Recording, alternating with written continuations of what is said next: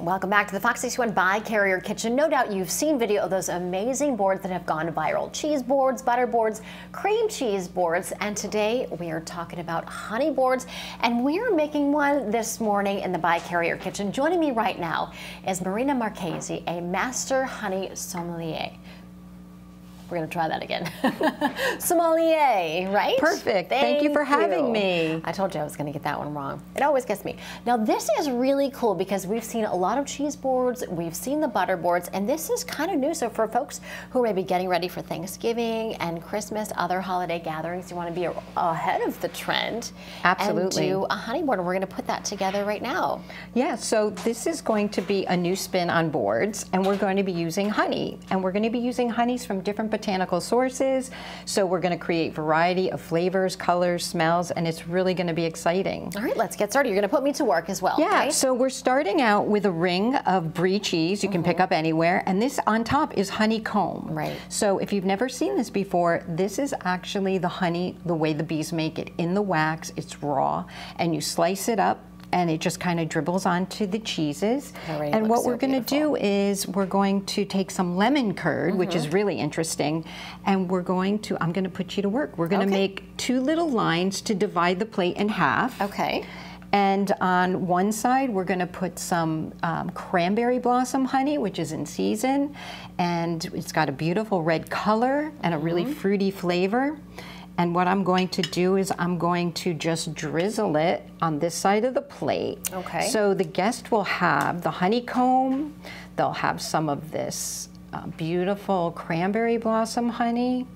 And here, let's take a curd. spoon. You can scoop sure. some of that out. And then you have another, you have a dark honey. I have a darker honey. So this is a wildflower honey produced from many different flowers. And this will create some really beautiful contrast on this side of the board. Mm -hmm. Here. Um, I was going to say, yeah, we use another spoon? Use the spoon again. Yes. All right. So, so you can see already we're creating like all these colors and flavors that are really exciting. And then we're going to add the nuts and berries. Yeah. So honey, what's great about it, it goes with every single food group. So we can add some nuts to the side so we can garnish maybe some nuts here. I can, uh, I'll chop some apples real quick, right? Yeah, so we can put some nuts. You can try any kind of nuts. We have pecans, walnuts, hazelnuts, whatever you like. There's no bad choice. And then I have some raspberries for color. Put some raspberries here. And that green apple is going to add some really beautiful color. Mm -hmm. There you go. You know what you're doing. I'm trying. We're going to make this work. There's no wrong way right, to do I know. this. You Sometimes know? you overanalyze things and you think, oh, it's not perfect, but it's not supposed to be, right? Exactly. So here's some really pomegranates. So cool. I have some cranberries mm -hmm. we can mm-hmm. add. And you use crackers. You've got a focaccia here. Beautiful. And you just dip and go. It's already make. I love the colors, all the different colors. There. It's art. It's like it a really beautiful is. art presentation, really and is. guests are going to be so wooed by this. Um, and then you can use it with some crackers. We have some beautiful focaccia focaccia bread. They can kind of dip in. Mm -hmm.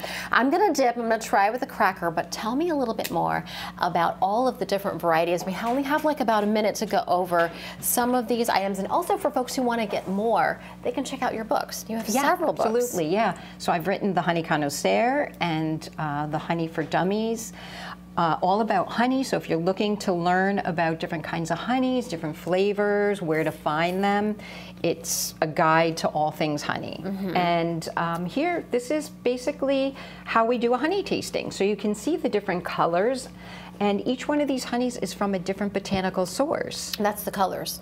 Yes, it comes colors. from the bee. So when a bee visits a specific flower, they make honey um, from those different flowers. So think about maybe orange blossom honey. So bees are visiting orange blossoms. And blueberry honey, they're visiting blueberry blossom. Mm -hmm.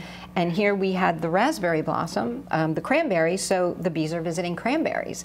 So each one of these That's flowers. So fascinating. Yeah, we never yeah. think about how different honey how we is. Get our honey.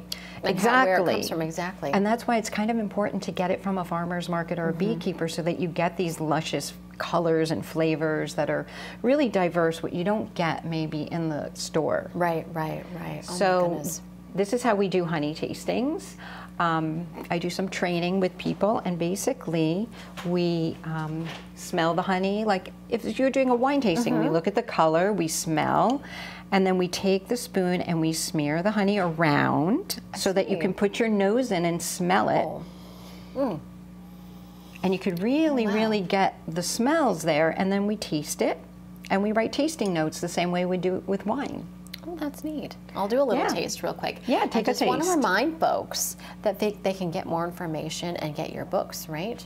And they can do more Yeah, of their so own you research. could buy, my books are available on Amazon, but also um, my website, Red Mm. Bee Honey, which is my small honey business. And then I am um, the founder of the American Honey Tasting Society, which is an educational organization where we work with chefs and we work with beekeepers to teach them how to uh, learn about their honey, the botanical sources which helps them to market it, you mm-hmm. know, to be able to talk about their honey to chefs and to restaurants and consumers. This has been so fascinating, educational. Thank you so much for being with us. Unfortunately, we're running out of time, but obviously you know a lot and you could continue on. But we will have more information on our website for folks at home. Thank you. Thanks so much for being with us. This is just beautiful.